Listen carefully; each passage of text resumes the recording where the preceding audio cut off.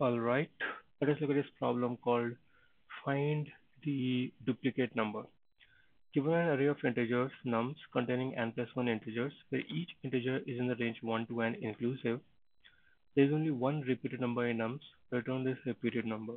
You must solve the problem without modifying the array and uses only constant extra space.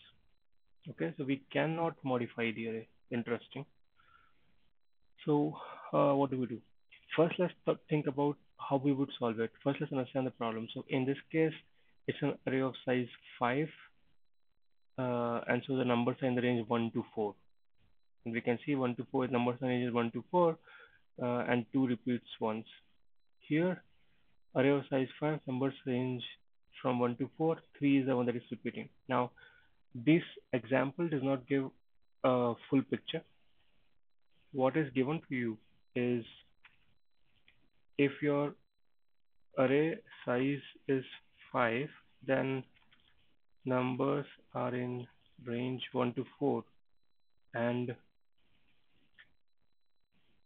so you, but that doesn't necessarily mean you will have 1 2 3 4 and then one of them repeating. It can like that is one example but it can also have 1 2 3 3 3 like it doesn't say that the number which is repeating is repeating only once uh, that's the bit that is not clarified here.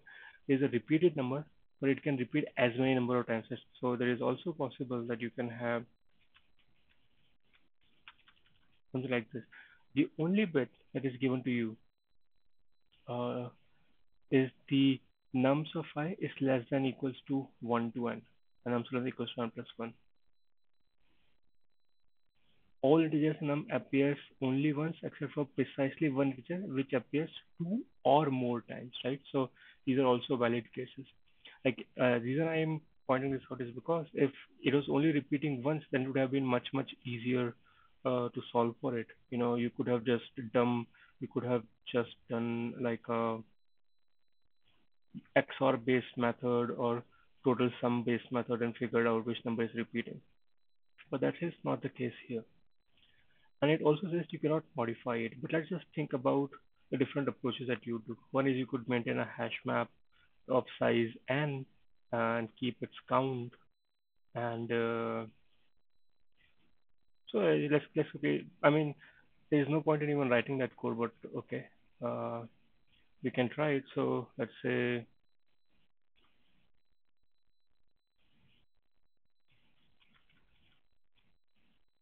we know this hmm. and we go for each integer num in nums.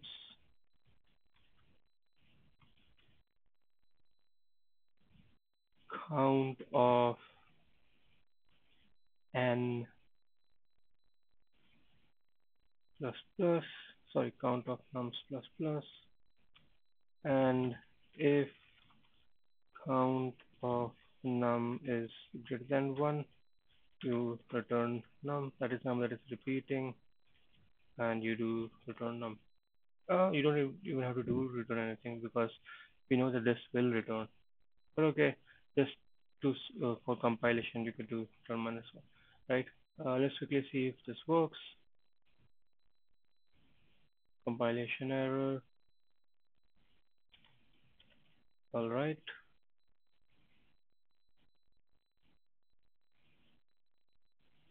Okay, submit. Let's see if it accepts this or not. It is uh, it is submitted also. Time complexity is good. Space complexity is the problem. The reason for space complexity is because your space complexity is O of n, which does not meet this constraint. Okay. Let's look at space complexity of O of 1. I mean, this is one way. Uh, now let's get rid of this. How can we do in, in space complexity O of 1 which is where you one of the approaches that come to mind is you modify the array somehow right? So for example you have these indexes 0 1 2 3 4 these are the indexes. And these are the values. So values is 1 3 4 2 2 now there are different ways of modifying the array uh, so one one bit could be you map index to value, right? And if you find so if you start from index zero, obviously there is no there is no integer with the value of uh, zero, right? Because we know integers lie in the range one to n. So the first guy is one. So what you can do is you can put index one at the value one. So that means you keep updating like this. So uh, okay, let me explain. One, three, four. So you keep this three. Three is what you visit next. You make it one, and now you go to index three. You make its value three, and you now look at index 2. At index 2 the value is 4 so you keep track of this 4 and you put this value at 2 and then uh, at index 4 uh, you put 4 and you get the value as 2 so you go to index 2 at index 2 you find that 2 is already present when when you find 2 is already present then that's the problem right then that's a repeated number. So that's one way if you're mapping index to value. So how do we write code for that? It's essentially something like uh, we are modifying the array. Yes, we are not satisfying this condition, but just to understand. Uh, so what we do is uh, we go through. So let's say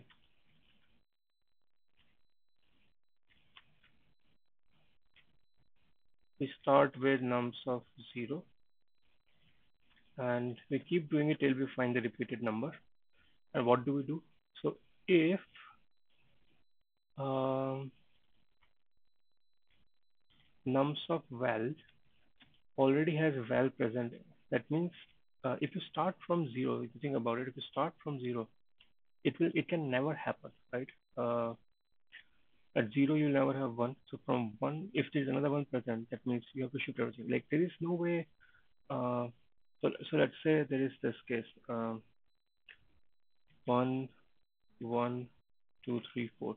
Even in this case, you go from one, you go to this one, and you'll find this already has it, right? So there is already one extra, and the value index is definitely misplaced. You have to place it at the right place, right? So you can't find somebody which is already in the right place. So let's say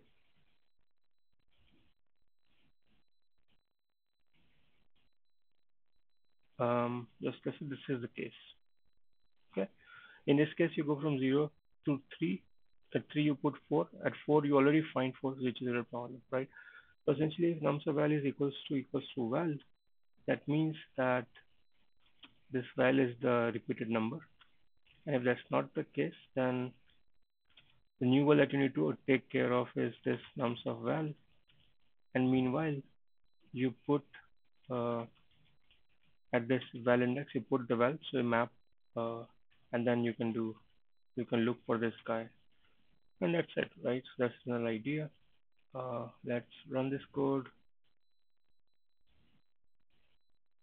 and submit this code. And this is also accepted. Now, that's one way. Here, what we did was we mapped the value uh, to its index. There is another way to look at it you can also do something called as negative marking. So what happens in negative marking? You basically say if a value is present, then uh, change the value at that index as negative. So for example,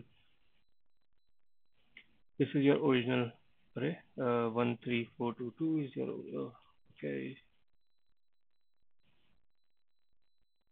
So 13422 is your original one. Um, what you do is one. So whatever is at index one, you change make it negative. That's it. Uh, then you go to one. One has what? Minus three. So just takes the absolute. So index is three. So negative, what negative means is index one. If the value is negative, that means one has been found. That's all it means, right? So one has been found. Okay. uh, now at 1 you have value is 3 so 3 that means so you make this nice that means 3 has been found that's all it means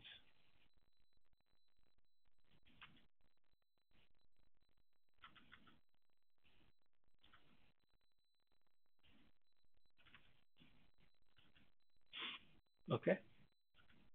Then you go to 2. 2, the value is 4. So at index 4, you make it negative, which is great. Now at 3, value is 2. So at index 2, you make it negative. So index 2, you make it negative. All great.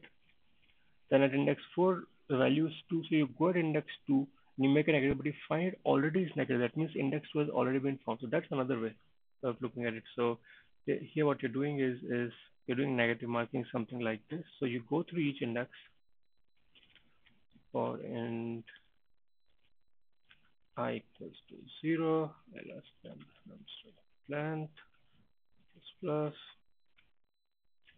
So what is the value? Value is nums of i.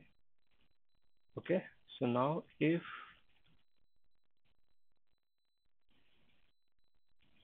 num so basically now what you do is you want to make nums of as negative. But if it's already negative then what you do? So if it is already less than zero that means this index uh, this is this is the one that is repeating. Otherwise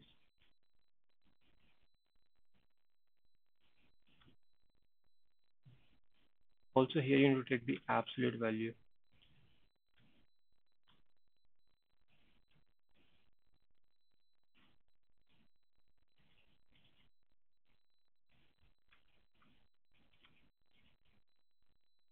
and that's it. Right. And okay you can do return soon or something. Again you're modifying it eh? but let's see if this explains what this works. All right submit. Cool this works as well. Now okay i don't know why it gave less space even though it's still of one space.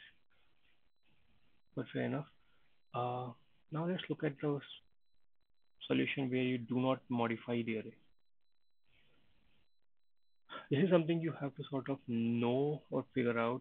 So, so here, what we'll do is, is we'll map index to its value. So what I mean by is, let's take this example. So 0, 1, 2, 3, 4 are the indexes. 1, 3, 4, 2, 2 are the values, right? So at index 0, at index 0, what is the value? 1. So from 0, you go to 1. From index 1, what is the value?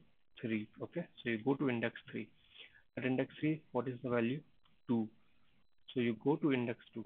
At index 2, what is the value? 4. So you go to index 4. At index 4, what's the value? 2. 2 is already a cycle. So for at index 4, the value is 2, right? 2 is already there. So it forms a cycle. And from 2, the value is 4.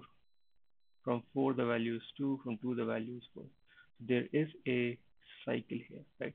So basically, in this problem, you can see for there is repetition, you find a cycle and you can represent this as a linked list. So you basically you can solve this problem as finding the point where the cycle starts in a linked list.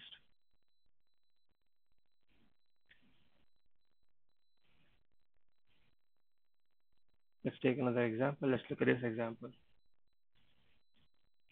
So you go 0, 1, 2, 3, 4, and the values are 3, 1, 3, 4, 2.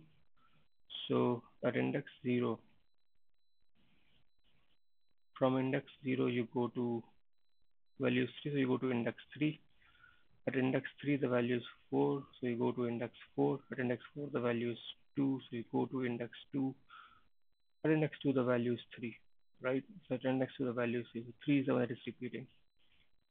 Now note that you may not necessarily have to add 0 as a node because you know 0 is the extreme case. You can already already start with nums of 0 but that's fine so that's it now how do we write the code for this so like how, how we solve uh, finding the point of cycle in the graph uh, in a linked list so let's do that so how do you find the cycle in the linked list you use the uh, slow pointer and the fast pointer, right? So first you, uh, so there are two steps in finding the cycle in a linked list. I would recommend going through that problem. Um, first, you take a slow pointer and fast pointer.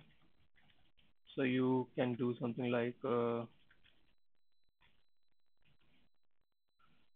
start both at the beginning, and we know that if there is a cycle, they will meet at some point. We know that. So while, or rather, we do do while. We, because first time they're already meeting. So while slow is not equals to fast. Until they don't meet, what do you do? You make slow equals to nums of slow, like move one step, and fast equals to nums of nums of fast, right? And they will meet at some point. Now, where they meet, when they meet, it determines is a cycle. That's not the point where the cycle starts. To find the point where the cycle starts, now you take the point where they meet and the starting point and move them one direction, one one step each, and then where they meet is the point of the cycle. So now you do change any of the any of the one pointers. So you can do something like int uh, pointer one equals to slow, int pointer two equals to zero, right? So where they met and the starting point, and now you do again same thing.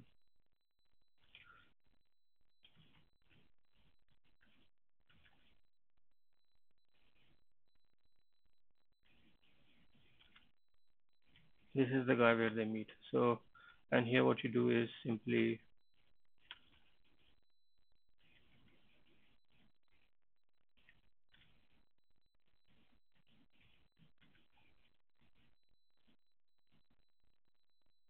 So here the linked list is mapping from index to value, index to value, index to value. That's how the linked list mapping is that we already discussed.